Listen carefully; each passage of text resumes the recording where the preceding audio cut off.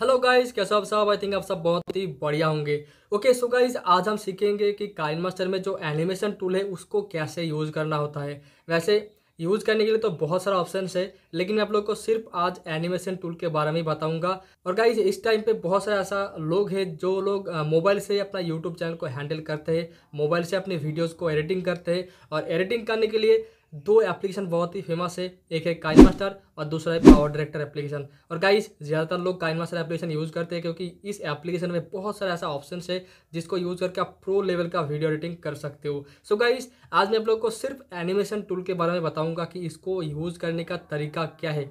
सो so, video बहुत ही awesome होने वाली है। वीडियो को पूरा एंड तक ज़रूर देखना। अगर आप लोगों को वीडियो अच्छा लगे तो लाइक ज़रूर करना। तो चलो यार वीडियो को स्टार्ट करते हैं।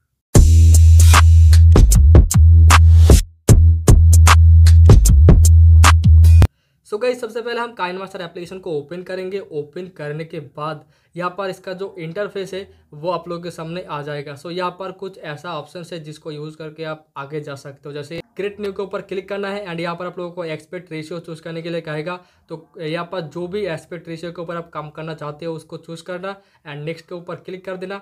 तो ये आप लोगों को काइन मास्टर में जो होम पेज है जो टाइमलाइन है वहाँ पर लेके आ जाएगा एंड जो गैलरी है वो ओपन हो जाएगा। सो so, यहाँ पर मैं एक वीडियो यहाँ पर ऐड कर लेता हूँ एंड नेक्स्ट प्रोसेस आपको उसके बाद बताता हूँ। सो गाइज़ यहाँ पर मैंने एक फॉर एग्जांपल वीडियो ऐड कर लिया है नॉर्मल सा एक वीडियो है जिसके ऊपर मैं आप लोग को जो एनिमेशन वाला टूल है उसको यूज़ करने का तरीका बताऊँगा।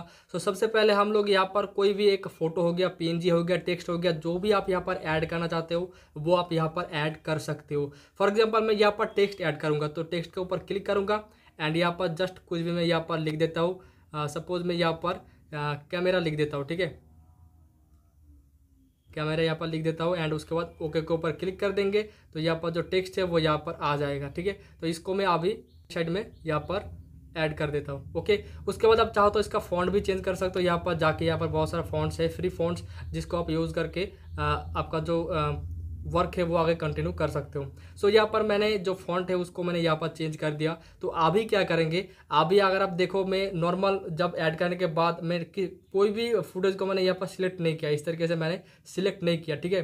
तो यहाँ पर कोई भी ऑप्शन नहीं आ रहा होगा। एनिमेशन वाला कोई भी ऑप्शन यहाँ पर शो नहीं कर रहा होगा। तो एनिमेशन वाला टूल कैसे आएगा? तो उसके लिए आप लोगों को उसी टाइम जो आप ऐड करते हो उसके ऊपर आप लोगों को जस्ट टैप करना है। एंड उसके बाद आपको लेफ़्ट साइड में जो चाबी वाला आइकन दिख रहा होगा इसके ऊपर जस्ट टैप करना है। टैप करने के बाद आप यहाँ पर एनिमेशन ऐड कर सकते हो। तो कैसे ऐड करेंगे? सो so, मैं फॉर एग्जांपल आप लोग को दिखाता हूँ कि ये लेफ़्ट साइड में है तो इसको हम राइट साइड में लेके जाएँगे। तो उसके लिए क्या करना होगा?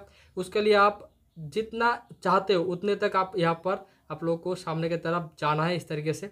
ओके उसके बाद आप लोगों को प्लस के ऊपर क्लिक कर देना है। ओके देन जो टेक्स्ट होगा उसको आप इस तरीके से स्लाइड करके आप राइट साइड में इस तरीके से लेके आ सकते हो। ठीक है? उसके बाद अगर आप लेफ़्ट से सॉरी गाइस राइट से नीचे लेके जाना जाना चाहते हो तो फिर से आप लोगों को इस तरीके से जाना है, थोड़ा सा सामने। उसके बाद इसको नीचे लेके आना है। उसके बाद फिर से जाना है। अगर आप चाहते हो कि प्लस के ऊपर क्लिक करेंगे, वो भी कर सकते हो। अगर आप सिंपली उस जगह पे लेके अगर आप इस तरीके से स्वाइप करते हो आपके टेक्स्ट को तो ऑटोमेटिकली प्लस के ऊपर क्लिक पड़ जाएगा, ठीक है? तो यहाँ पर मैंने दो तीन एनिमेशन ऐड कर दिया तो अब सिंपली मैं यहाँ पर डन के ऊपर क्लिक कर देता हूँ। तो जो एनिमेशन अभी मैंने ऐड किया, वो देखेंगे कि ये प्रॉपरली वर्क कर रहा है कि नहीं। जो जो जहाँ पर मैंने ऐड किया टेक्स्ट को, ठीक है? तो यहाँ पर मैं सामने लेके आऊँगा थोड़ा सा। उसके बाद मैं इसको प्ले कर दूँगा। सो so, आप देख सकते हो मैंने जिस तरीके से एनिमेशन को ऐड किया बिल्कुल उसी तरीके से ये एनिमेशन यहाँ पर वर्क कर रहा है। अब देखो राइट उसके बाद नीचे उसके बाद फिर से लेफ़्ट तो आप देख सकते हो, बहुत ही आसान तरीका है एनिमेशन टूल को यूज़ करने की।